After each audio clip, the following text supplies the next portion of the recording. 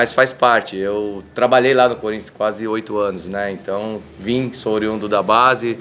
É, o Michael foi meu atleta desde o início lá. Então a gente, a gente estuda muito futebol, a gente trabalha muito futebol.